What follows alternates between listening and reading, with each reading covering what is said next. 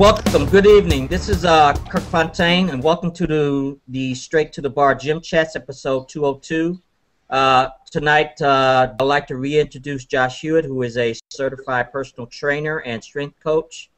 Um, and correct me if I'm wrong, you're the owner of TopFormFitness.com? That's correct. Okay. Welcome back, Josh. Uh, just to give a little uh, summary, give us a little bit about your background, how you got inspired in the field of uh, strength coach and uh, personal training. Okay, well, I think my story is similar to a lot of guys. Um, when I was a teenager, I was a pretty skinny kid, so I started training to put a little bit of muscle on, um, so to make up for that, and uh, that soon turned into like my passion, and I started learning as much as I could about strength training and nutrition, uh, and it became my lifestyle. Um, so I turned that into a career uh, by getting my personal training certification, and then later went to university um, to get a degree in kinesiology. Now, along the way, uh, I got into uh, strength training and competitive strength athletics. So uh, I got a little uh, picture here of when I first uh, started getting into strength training or uh, strongman competitions. And here I'm a little over 250 pounds. This is back at All Strength Challenge. I don't know if you remember when those are on the Outdoor Life Network. Um, and yeah. I was uh, I was competing at Wasaga Beach in this one, and then shortly thereafter went on to compete in uh, Ontario Strongest Man. And I only placed eighth in that contest, but still, for being one of the smaller guys, I was pleased with that. Of course, the field has uh, become much more competitive now. Um, so uh, from there, I found that when I stopped getting into competing and things were changing in my life, I, like I say here, the one thing that's constant in life is change. And I found that um, as I uh, got older and uh, my lifestyle changed, like I got married, I was fortunate enough to meet a great woman and uh, get married and then uh, had a kid. I uh, got a house, so I became a mortgage owner, and my business got busier. Um, my uh, my body changed a little bit, and that was uh, rather embarrassed. I, for some reason, I was relatively unaware of how out of shape I got until I was looking back on some pictures from uh, from our vacation uh, just shortly after my daughter okay. was born, and I realized I had okay. to do something. So this is this is less than a year ago. Um, and I took it uh, upon myself to learn as much as I could about physique transformation. And I was, uh, my main thing was to look at unconventional approaches, so think outside the box. And um, one thing I found is the more I learned and the more I studied, it seemed that a lot of the mainstream approaches to fitness and conditioning and exercise and nutrition were sort of focused more on making money rather than getting results. So I knew I had to look okay. elsewhere and sort of uh, think a little outside the box. I've one thing I found along the way is that if you're just trying to um, meet the norms or follow the mainstream, then you're going to look like everyone else. If you want to start to make changes in your body and stand out, then you have to look outside and, and find some unique approaches. And that's sort of what I want to get into tonight. Okay. Okay. Uh, did you want to touch upon the hormonal optimization and then uh, lead into the uh, the IF? Sure. Uh, um, so let me see. I have some notes on that as well. Um, so for hormonal optimization, first of all, we want to look at what are different factors affecting body composition. And now I'm focusing this mostly on on body composition or physique transformation. So that is uh, it, it, this definitely does relate to to strength and performance, but uh, just for the sake of this discussion, I'm going to be focusing on uh, on physique, on body body composition, gaining lean tissue and losing body fat. Um, so some factors that affect your body composition are obviously uh, your age. Um, now I'm in my early 40s, and uh, I, I, mean I definitely notice hormonal changes that uh, lead to changes in body composition. Uh, your right. sex, obviously, women tend to have a little bit higher uh, body fat percentage. Um, genetics do play a small role, obviously. Um, I, in my opinion, and this is a, a you know a, a, debatable topic. Uh, the factors that you can control, I believe, have a stronger play a stronger role than the factors that you can't, than your genetics. Um, and I suggest that people, I won't get into it tonight, but uh, research a field of uh, genetics called epigenetics. And it basically suggests that our environment, like uh, our food and the chemicals we put in our body, our activity, and even our mood or thoughts or how we perceive our environment uh, can play a role on genetic expression. So uh, it's a pretty cool field that suggests, hey, even, even what you eat and what you do can affect what genes express themselves. So you can't really play the victim role like, oh, my genetics is making me fat or whatever.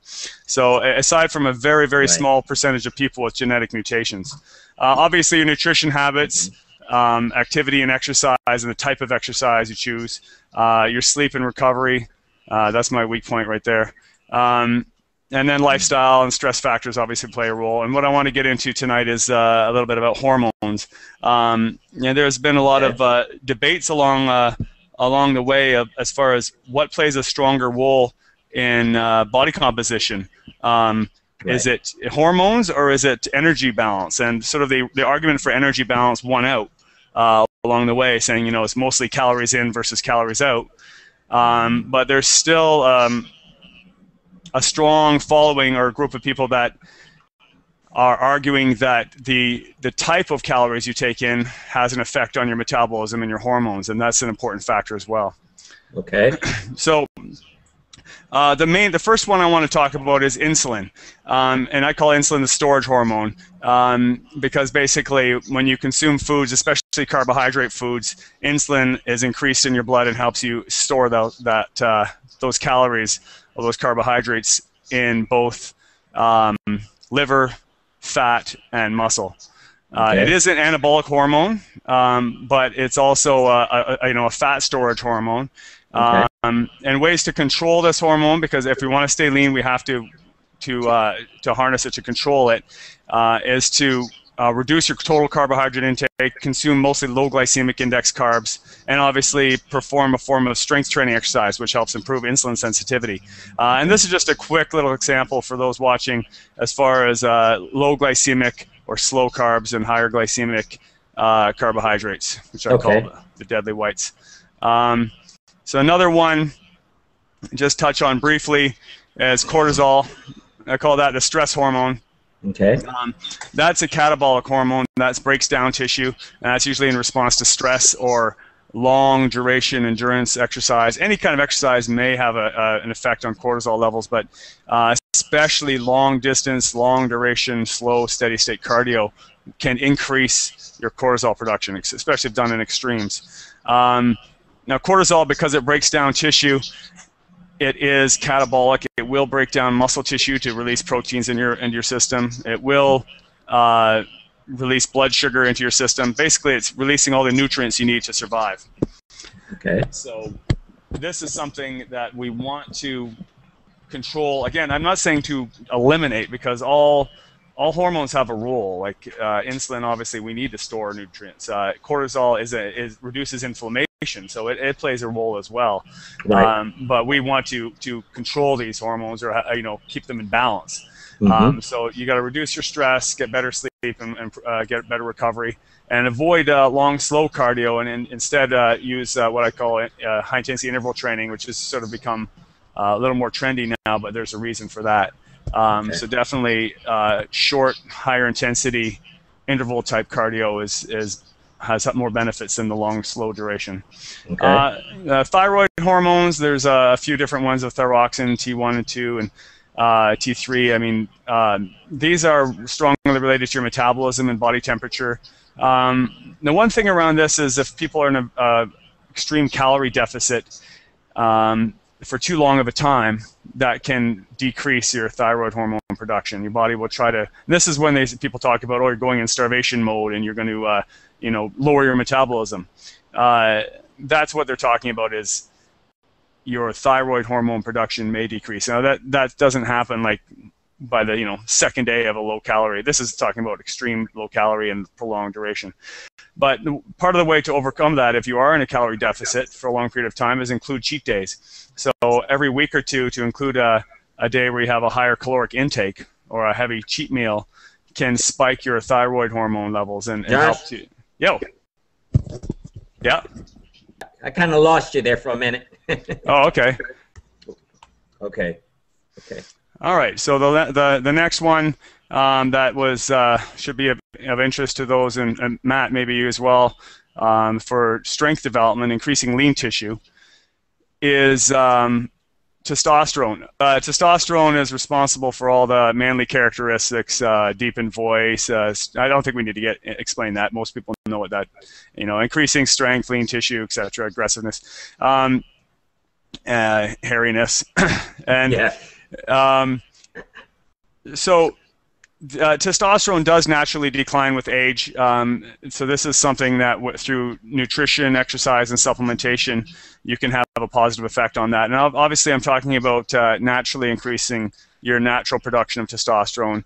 Uh, taking exogenous sources or steroids, obviously it works, but it does have a, a potentially negative effect on your natural production and, and your hormonal balance. So, I mean, that's people's choice, but uh, I want to uh, get into what we can do to optimize our natural production, um, including uh, uh high intensity strength training. So, um, including big compound multi-joint exercises, but reducing rest. So, by doing antagonist supersets or strength circuits, uh, has been shown to have a, a, an increase on testosterone production.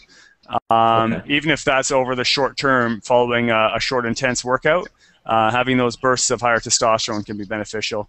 Uh, consuming fats, including saturated fats, your body needs to use uh, saturated fats to produce a lot of hormones.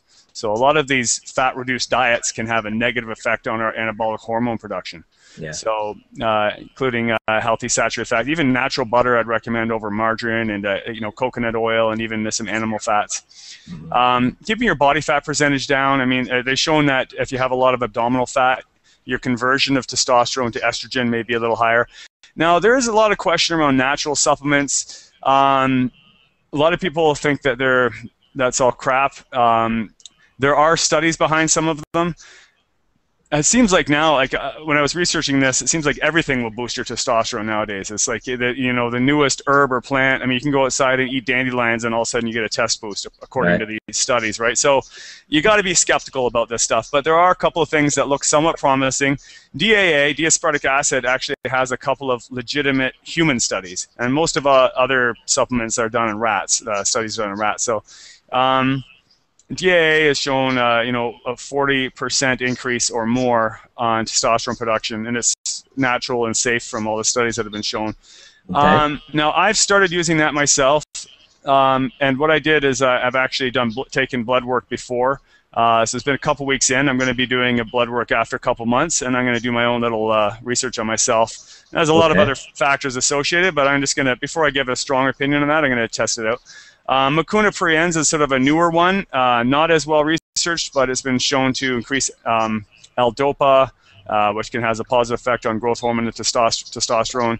So that's one worth looking into and just researching. But vitamin D has so many health benefits, and it's also been shown to support healthy uh, hormone production. So right. I would definitely recommend everyone include vitamin D and probably higher than the recommended like government dosages.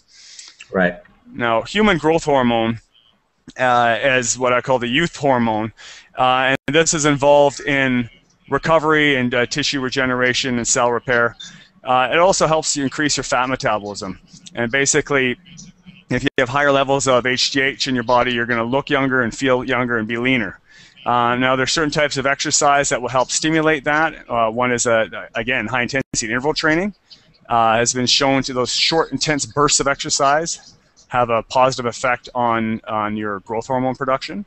Um, mm-hmm. Intense strength training exercises, again with the right exercise selection, big compound multi-joint movements, training with the uh, correct intensity, um, and they usually show if you keep the rest periods down, um, that has a greater effect. Now, obviously, that's dependent on your goals. Um, and then getting better sleep. So your growth hormone levels are the highest when you have an empty stomach, typically. So when you're sleeping during periods of deep sleep, you have higher levels of growth hormone, and that's going to tie us into the next topic, which is intermittent fasting. This is just okay. a, little, a little chart here that ties into uh, insulin uh, related to growth hormone.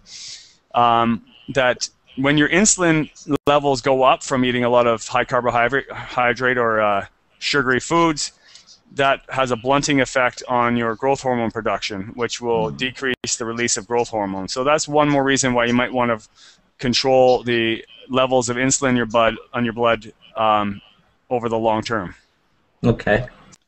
So basically, that was a quick summary of, uh, of uh, all, all, the uh, hormones that typically relate to body composition uh, and what we can do to optimize them.